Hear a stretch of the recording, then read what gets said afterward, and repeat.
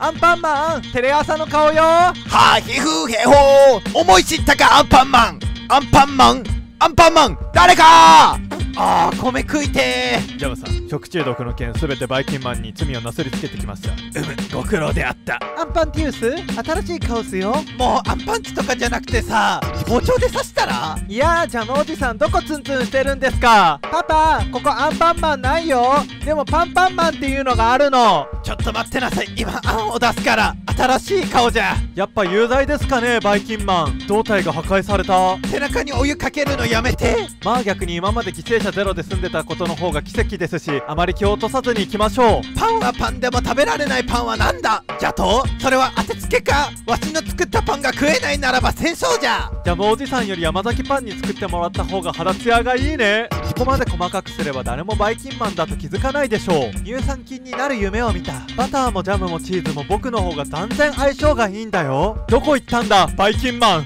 原料の小麦をアメリカ産に変えてから顔がくどくなってきた。バイキンマンはイソジンで倒せることに気づいた。僕は中に入って掘ればいいんだね。アンパンマンの水に濡れる以外の弱点とは？原材料の高騰。汚すなって言ってんのに毎週2つですからね。所詮脳みそもあんこですよあいつは。えい！こんなものがあるから争いは起こるんじゃ。いやこれはその誤解だ。イソジン一物マン早く逃げるんだ。バタコとチーズがいない君のような勘のいいガキは嫌いだよカバオくん。カレーはな一晩寝かした方がええんよ。とか言ってサボりやがる。小麦粉変えた？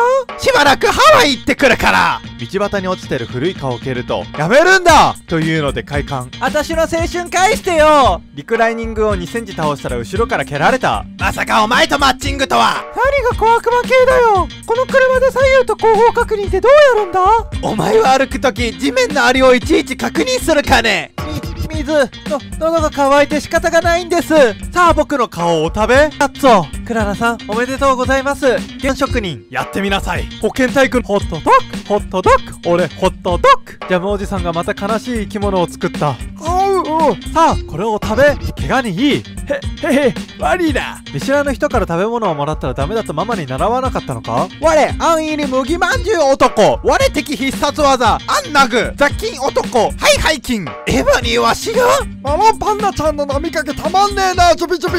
あそれわしのじゃ。どけ。邪魔おじさん。お？今日は珍しく5本指ソックスマンがいるじゃないか。車検通らんかった。ああ今日は中に出したい。そうやってパンに命を吹き込むんだね。バイキンマンをいじめないで。正義の恐ろしさを教えてやったよ。愛と勇気だけじゃ食っていけなくなった。おやつはいいからドンを連れてこいよ。無敵は無敵はいりませんか？僕が何のために生まれてきたか？そうだな。その辺のことを考える部分はさっき食われたな。半額シール待ち。やばいやばい。保健所保健所の人が来た丘まで焼き上げたわしももう自分で何作りてえのかわかんねえや。アンポティが悪くて眠れない。いつもそれかぶれよ。虹の滑り台を楽しそうに滑るアンパンマンとバイキンマンとあジャイアンツの新しい顔よ。相手も無理じゃよバタコ。わしは嫌がる顔が一番興奮するんじゃ。こっちも商売なんですよ。食べた分は払ってもらわないと。昔はワンパンマンとかジャムおじさんとか言われたもんじゃよ。僕の名前は食パンマン。すごく気持ちよかったよ。このことは秘密だからね。僕は食パンマンだからね。